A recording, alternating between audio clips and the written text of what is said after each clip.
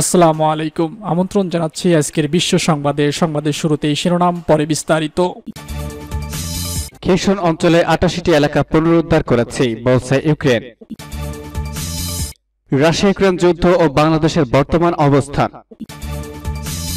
এদিকে ইউক্রেনের দীর্ঘ সময় রুশ আক্রমণ ভালো, বললেন বিল গেটস। ডনবাসের চেচেন ব্যাটালিয়নের সামরিক বিজয় তুলে ধরলেন চেচেন নেতা রমজান কাদিরভ। আরও জানিয়ে দিব, পাকিস্তানের সাবেক প্রধানমন্ত্রী ইমরান খানের পক্ষে রাস্তায় নেমেছেন হাজার হাজার মানুষ। সর্বশেষ থাকবে ভারতের সেনা হেলিকপ্টার দুর্ঘটনায় নিহত দুই। শুনছিলেন সংবাদ শিরোনাম, এখন বিস্তারিত, তার আগে অনুরোধ থাকবে, ভিডিওতে একটি লাইক দিন এবং কমেন্টস করে জানিয়ে দিন কোন জেলা থেকে বা কোথা থেকে আমাদের সঙ্গে যুক্ত রয়েছেন। খেসন অঞ্চলের আটাশিটি এলাকা পুনরুদ্ধার করেছে বলছে ইউক্রেন। ইউক্রেনের সেনাবাহিনী দেশটি খেসন অঞ্চলের আটাশিটি এলাকা রুশ সেনাদের কাছ থেকে পুনরুদ্ধার করেছে বলে দাবি করেছে কিয়েভ। ইউক্রেনের প্রেসিডেন্টের deputy chief of staff Kyrylo Tymoshenko সামাজিক যোগাযোগ মাধ্যমে এক পোস্টে বলেছেন, দক্ষিণাঞ্চলে খেসনের আটাশিটি এলাকা দখলমুক্ত হয়েছে, খবর আনাদুলু এজেন্সির এর আগে খেসন দখল করার পর রুশ কর্মকর্তারা বলেছিলেন, তারা অঞ্চলটি রক্ষা করার জন্য প্রয়োজনে সেখানে দুর্গ গড়ে তুলবেন। কিন্তু শেষ পর্যন্ত পশ্চিমা সমর্থন পুষ্ট ইউক্রেনের সেনাবাহিনী অগ্রাভিযানের মুখে রুশ সেনারা খেসন থেকে পিছু হটে গেছে। এদিকে রাশিয়া বলেছে খেসনের রুশ নিয়ন্ত্রিত এলাকার একটি সেতুতে ইউক্রেনের রাত্রিকালীন বোমা হামলায় যে চার ব্যক্তি নিহত হয়েছেন, তাদের মধ্যে দুজন রুশ সাংবাদিক রয়েছেন। রুশ কর্মকর্তারা দাবি করছেন ডেনিপুর নদীর উপর অবস্থিত সেতুটি দিয়ে বেসামরিক নাগরিকদের নিরাপদ আশ্রয় সরিয়ে নেওয়া হচ্ছিল। কিন্তু ইউক্রেনের হামলায় সেতুটি বিধ্বস্ত হওয়ায় সেই কাজ স্থগিত হয়ে গেছে। ইউক্রেন ওই সেতুতে হামলার সময় বেসামরিক নাগরিকদের টার্গেট করেছে বলে মস্কো যে অভিযোগ করেছে, কিয়েভ তা নাকচ করে দিয়েছে। ইউক্রেন শুক্রবার দাবি করেছে, রুশ অধিকৃত খেসনের আটাশিটি এলাকার পাশাপাশি আরেক অধিকৃত অঞ্চল খারকিবের পাঁচশত একান্নটি এলাকা এখন কিয়েভের দখলে, সূত্র জানিয়েছে পার্স টুডে। রাশিয়া ইউক্রেন যুদ্ধ ও বাংলাদেশের বর্তমান অবস্থান। রাশিয়া ইউক্রেন যুদ্ধক্রমে জটিল থেকে জটিলতার পরিস্থিতি সৃষ্টি করছে। রাশিয়া গত ফেব্রুয়ারিতে ইউক্রেনে বিশেষ সামরিক অভিযান শুরু করার পর থেকে এখন পর্যন্ত পশ্চিমা মিডিয়া রুশ প্রেসিডেন্ট ভ্লাদিমির পুতিনের সম্ভাব্য পরিকল্পনা সম্পর্কে যেসব মন্তব্য করেছে, তার প্রায় কোনোটি সঠিক বলে প্রতীয়মান হয়নি। অপরদিকে এখন পর্যন্ত পুতিন যেসব লক্ষ্য হাসিলের অভিপ্রায় ব্যক্ত করেছেন, তার প্রায় সবকটি অর্জন করেছেন। অবস্থার দৃষ্টি মনে হচ্ছে বিশ্ব পুতিনকে পাঠ করতে অক্ষম। সেপ্টেম্বরে পুতিন ইউক্রেনের চারটি অঞ্চল রুশ ফেডারেশনে অন্তর্ভুক্ত করে নেয়ার পর আক্রমণের ধার কমিয়ে দেন। এই সুযোগে পাশ্চাত্যের অস্ত্র সহায়তা পেয়ে ইউক্রেন তার হারানো অঞ্চল পুনরুদ্ধারে মরিয়া হয়ে আক্রমণ পরিচালনা করে। গত দুই অক্টোবর ইউক্রেন উত্তরাঞ্চলে দনতস্ক ও লুহানস্কের সীমান্ত সংলগ্ন গুরুত্বপূর্ণ লাইমান শহরের দখল করে নিলে রুশ বাহিনীর সক্ষমতা নিয়ে প্রশ্ন দেখা দেয়। ইউক্রেন বাহিনী শহরটিকে ঘিরে ফেললে আত্মরক্ষার জন্য রুশ বাহিনী শহরটি ছেড়ে দিয়ে পশ্চাৎ প্রসারণ করে।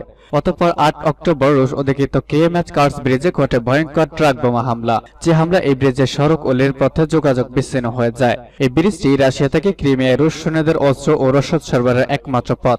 এটি ছিল পুতিনের সক্ষমতার প্রতীক। এরপরে পুতিন ইউক্রেনে তার সেনা কমান্ডার পরিবর্তন করেন এবং সের্গেই সুরভিকিনকে নতুন কমান্ডার নিয়োগ দেন। নিযুক্ত হয়ে সুরভিকিন কৌশলগত যুদ্ধ পরিবর্তন করেন এবং ইউক্রেনের ওপর ত্রৈমাত্রিক মিসাইল আক্রমণ পরিচালনা করেন। মাত্র দুদিনেই রাশিয়া জল, স্থল ও আকাশপথে ইউক্রেনে এত ব্যাপক মিসাইল আক্রমণ করে যে, তাতে ইউক্রেনে প্রায় প্রতিটি শহরের গুরুত্বপূর্ণ স্থাপনা বিধ্বস্ত হয়ে যায়। শহরগুলো বর্তমানে বিদ্যুৎ বিচ্ছিন্ন হয়ে পড়েছে। এই ভয়ঙ্কর মিসাইল আক্রমণের মুহূর্তেই যুদ্ধের গতি প্রকৃতির আমূল পরিবর্তন ঘটে এবং প্রমাণ হয়ে যায়, রাশিয়া ও পুতিন সম্পর্কে পশ্চিমাদের ধারণা একেবারেই সঠিক নয় এবং রাশিয়াকে পর্যদস্ত করা সম্ভব নয়। এদিকে শীত সমাগত হওয়া বিদ্যুৎ সংযোগ পুনরুদ্ধার করতে না পারলে ইউক্রেনের মানুষ মারাত্মক সংকটে পড়বে। ইউক্রেনের দীর্ঘ সময় রুশ আক্রমণ ভালো, বললেন বিল গেটস। ইউক্রেনে রুশ আক্রমণ দীর্ঘ সময়ের জন্য ভালো বলে মন্তব্য করেছেন মাইক্রোসফটের প্রতিষ্ঠাতা বিল গেটস। কল্যাণকর দিক বিবেচনা করেই রাশিয়া ইউক্রেন যুদ্ধ সম্পর্কে সারা জাগানো এই মন্তব্যটি করেছেন তিনি। খবর ব্লেস মিডিয়ার। এই ব্যাপারে বিলের যুক্তি হচ্ছে, এই যুদ্ধ ইউরোপীয় দেশগুলোকে পুনর্বিকীকরণযোগ্য সবুজ শক্তি গ্রহণ করতে বাধ্য করবে। চলতি সপ্তাহে সিএনবিসি এর টক শো দ্য এপচেঞ্জ এ অংশ নিয়ে এসব কথা বলেছেন তিনি। অনুষ্ঠানে সবুজ শক্তির বিকল্প, পরিবেশ, সমাজ ও শাসন ইএসজি নিয়ে আলোচনা করেছেন। ইএসজির পরিবেশগত দিক সম্পর্কে বিল গেটস বলেন, এটি নিয়ে অনেক বিতর্ক আছে, কিন্তু পরিমাপের সুযোগ রয়েছে। এটি এমন হওয়া উচিত যেখানে মানুষ কোনো কোম্পানিতে বিনিয়োগের সময় পরিবেশগত দিকগুলো দেখে বুঝে বুঝে নেয়। মাইক্রোসফটের প্রতিষ্ঠাতা চান বিশ্বের সবুজ শক্তিতে রূপান্তর ঘটাতে এবং সেই সময়টি এখনই ইউক্রেনের রুশ আগ্রাসন সবুজ শক্তিতে রূপান্তরের ক্ষেত্রে একটি বিপত্তি সৃষ্টি করেছে, কারণ ইউরোপীয় দেশগুলো রাশিয়া থেকে অনুমোদিত জীবাশ্ম জ্বালানি প্রতিস্থাপনের চেষ্টা করছে। জনবাসের চেচেন ব্যাটালিয়নের সামরিক জয় তুলে ধরলেন রমজান কাদিরভ। জনবাস এলাকার মুক্তিতে অংশগ্রহণকারী জাপাত আকমদ ব্যাটালিয়নের চেচেন যোদ্ধারা আরেকটি সীমান্ত দখল এবং তিন ইউরোপীয় সৈন্যকে আটক করেছে। চেচনিয়া প্রধান রমজান কাদিরভ শুক্রবার টেলিগ্রামে একথা লিখেছেন। কাদিরভ লিখেছেন, বেশ সমন্বিত এবং পেশাদার ক্রমের জন্য শত্রুর হাতে একটি নতুন সীমান্ত দখল করা হয়েছে। আমাদের ছেলেরা একটি দৃষ্টান্তমূলক কাজ করেছে এবং ইঞ্জিনিয়ারিং প্রতিরক্ষামূলক দুর্গ দখল করেছে। প্রচুর পরিমাণে ট্রফি, অস্ত্র উদ্ধার করেছে। তিন জঙ্গিকে বন্দী করেছে এবং সবচেয়ে হিংস্র শক্তিকে নির্মূল করেছে। চেচেন প্রজাতন্ত্রের যোদ্ধারা রাশিয়ান সেনাবাহিনীর সাথে যৌথভাবে কাজ করে ধীরে ধীরে শত্রুদের সুসজ্জিত অস্ত্রের স্থান থেকে তাড়িয়ে দিচ্ছে তিনি উল্লেখ করেছেন। চেচেন নেতা শপথ গ্রহণ করে বলেছেন, ইউক্রেনীয় গ্যাং থেকে রাশিয়ান জনবাসীর অঞ্চল মুক্ত করার প্রচেষ্টা এক মিনিটের জন্য থামবে না। পাকিস্তানের সাবেক প্রধানমন্ত্রী ইমরান খানকে নির্বাচনে অযোগ্য ঘোষণা, পাকিস্তান জুড়ে বিক্ষোভের ডাক। পাকিস্তানের সাবেক প্রধানমন্ত্রী ইমরান খানকে নির্বাচনে অযোগ্য ঘোষণায় দেশটির সব বড় শহরে বিক্ষোভ প্রতিবাদ ছড়িয়ে পড়েছে। তোষাখানা মামলায় ইমরানের বিরুদ্ধে অভিযোগ, তিনি প্রধানমন্ত্রী থাকাকালীন বিদেশ থেকে পাওয়া মূল্যবান উপহার বিক্রি করেছেন। এই অভিযোগের ভিত্তিতে পাঁচ বছর ইমরান খানকে সব সরকারি পদ থেকে নিষিদ্ধ করেছে দেশটির নির্বাচন কমিশন। ফলে পার্লামেন্টের নিম্নকক্ষ ন্যাশনাল অ্যাসেম্বলির সদস্যপদ হারিয়েছেন তিনি। এই সিদ্ধান্তের প্রতিবাদে ইকবাল শহরের কাছে ইসলামাবাদ এক্সপ্রেস ওয়ে অবরোধ করেছেন ইমরানের দল পাকিস্তান তেরিক ইনসাফের কর্মীরা। অবস্থা সামলাতে কাদানে গ্যাস ছুড়েছে পুলিশ। ফৈজাবাদে বিক্ষোভকারীদের সঙ্গে পুলিশের সংঘর্ষ হয়। ইসলামাবাদে পাকিস্তান নির্বাচন কমিশনের দপ্তরের বাইরেও গুলির শব্দ শোনা গেছে বলে দাবি সংবাদ মাধ্যমের।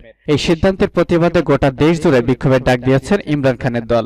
গত আগস্টে পাকিস্তানে ক্ষমতাসীন জোট সরকারের সবচেয়ে বড় শরিক দল পাকিস্তান মুসলিম লীগ নওয়াজের পিএমএলএন। সদস্য মহসিন নওয়াজ রানঝা ইমরানের বিরুদ্ধে এই মামলা দায়ের করেছিলেন।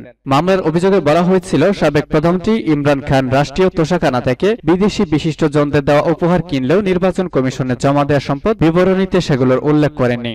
এরপরে শুনানিতে বিচারক বেঞ্চ থেকে বলা হয়েছে, পাকিস্তানের প্রধানমন্ত্রী থাকাকালে দেশি বিদেশি সরকার ও রাষ্ট্রপ্রধান, মন্ত্রী এবং উচ্চ পদস্থ কর্মকর্তাদের কাছ থেকে যেসব উপহার পেয়েছিলেন ইমরান খান ও তার স্ত্রী বুশরা বেবি তার সঠিক তালিকা তিনি নির্বাচন কমিশনকে দিতে ব্যর্থ হয়েছেন।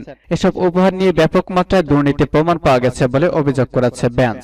এরপরে ইমরান খানের দলের তরফে জানানো হয়েছে, এই সিদ্ধান্তের বিরুদ্ধে আইনি লড়াই চালাবে তারা।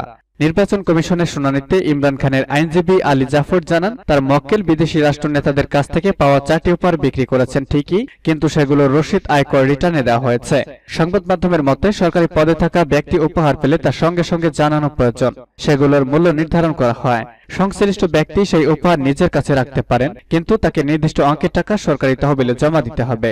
উপহারগুলো সরকারি কোষাগার বা তোষাখানায় রাখা হয় বা নিলাম করে দেওয়া হয়। এদিকে করাচিতে শরিয়া ফয়সালে পিটিআর পার্টি অফিসের সামনে জড়ো হন সমর্থকরা। অপ্রীতিকর পরিস্থিতি ঠেকাতে সেখানে পুলিশের একটি কনজেন্টেন্ট যায়। বিক্ষোভকারীদের সংখ্যা বাড়তে থাকায় যান চলাচলে বিঘ্ন ঘটে। পুলিশ জল কামান ব্যবহার করে বিক্ষোভকারীদের সরিয়ে দেওয়ার চেষ্টা করে। এদিকে পেশোয়ারে ইমরান খানের সমর্থকরা গুরুত্বপূর্ণ রাস্তাগুলো আটকে দেয়। ইসলামাবাদের সঙ্গে যুক্ত হওয়া মূল সড়কটিও বন্ধ করে দেয় তারা। খাইবার পাখতুয়ানখর মন্ত্রী তৈমুর খান ঝাগড়ার নেতৃত্বে বিক্ষোভ করতে দেখা যায় সাধারণ মানুষকে। পিটিআই সমর্থকরা লাহোরের সড়কগুলো আটকে দেন। তারা টায়ার আগুন জ্বালিয়ে বিক্ষোভ করেন। আরেকটি ভিডিওতে দেখা যায়, মারদানে বিপুল পরিমাণ মানুষ জড়ো হয়েছেন। এদিকে বিক্ষোভ ছড়িয়ে পড়ার পর পাকিস্তানের স্বরাষ্ট্রমন্ত্রী রানা সানাউল্লাহ বিক্ষোভকারীদের হুঁশিয়ারি দিয়েছেন। তবে পাকিস্তানের গণমাধ্যম তার ডন জানিয়েছে, দেশটির বিভিন্ন স্থানে বিক্ষোভ ছড়িয়ে পড়েছে। ভারতের সেনা হেলিকপ্টার দুর্ঘটনায় নিহত দুই। ভারতের অরুণাচল প্রদেশের পাহাড়ে দেশটির সেনা হেলিকপ্টার ভেঙে দুজন নিহত হয়েছেন। তবে মৃতের সংখ্যা আরও বাড়তে পারে বলে আশঙ্কা করা হচ্ছে। সেনাবাহিনী জানিয়েছে, হেলিকপ্টারে মোট পাঁচজন আরোহী ছিলেন। দুজনের মরদেহ উদ্ধার করা হয়েছে। বাকিদের খোঁজে তল্লাশি চালাচ্ছেন উদ্ধারকারীরা। আপার শিয়াঙ্গের পাহাড়ি গ্রাম মিগিরিংয়ের কাছে ভেঙে পড়া হেলিকপ্টারটি কিন্তু গ্রামটি দুর্গম এলাকায় যাওয়ার রাস্তা বলতে একমাত্র ঝুলন্ত সেতু। যে জায়গায় হেলিকপ্টারটি ভেঙে পড়েছে, গ্রাম থেকে সেখানে যাওয়াটা আরও চ্যালেঞ্জিং বলে জানিয়েছিলেন আপার সিয়াঙ্গের পুলিশ সুপার জম্মার বাসার। ইতিমধ্যে তিনটি দল উদ্ধার কাজ চালাচ্ছে। উদ্ধার কাজে নামানো হয়েছে একটি এম আই সেভেন্টিন এবং দুটি ধ্রুব হেলিকপ্টার। এছাড়া গ্রামবাসীদেরও সাহায্য নেওয়া হচ্ছে। গতকাল লিকাবালি থেকে সেনা জওয়ানদের নিয়ে রুটিন মহড়ায় বেরিয়েছিল অ্যাডভান্সড লাইট হেলিকপ্টারটি। তখনই ভারত, চীন সীমান্ত লাগোয়া মেঘের কাছে ভেঙে পড়ে সেটি।